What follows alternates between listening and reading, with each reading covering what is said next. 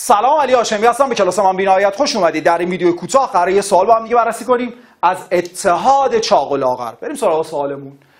حاصل این هیولای زیبا برابر با چه خواهد بود؟ چی کارش باید کنم؟ جز به جز بررسی کنیم. اینجا رو ببین. رادیکال دو منهای یک در رادیکال دو به علاوه یک اتحاد مزدوجه. یعنی اولی به توان دو منهای دومی به توان دو.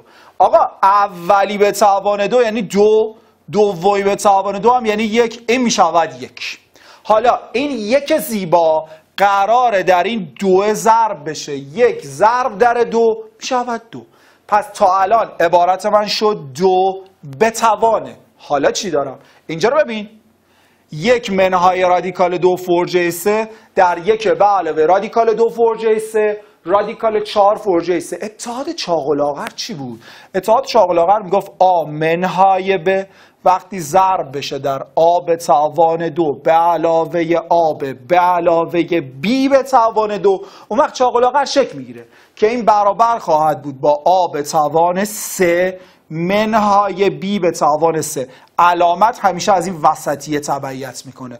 منها باشه میشه منها به علاوه باشه میشه به علاوه. خب این استاندارد دقیقا داره این بنده خدا رو رعایت می‌کنه. یعنی آسه منهای به سه پس وقتی این دوتا در همدیگه ضرب بشن جواب برابر خواهد بود با اولی به توان سه منهای دومی به توان سه.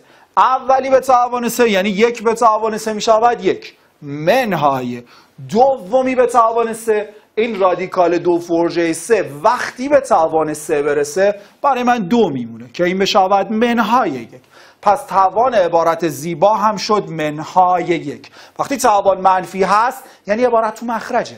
پس این برابر می شود با یک دوم یا عدد نیم. دیدی چقدر خوب بود؟ ترکیب بود. از یک اتحاد چاق لاغر در توان که باید حواست باشه این دوتا در هم ضرب میشه و یک اتحاد مزدوج در پایه عبارت خودم. متشکرم.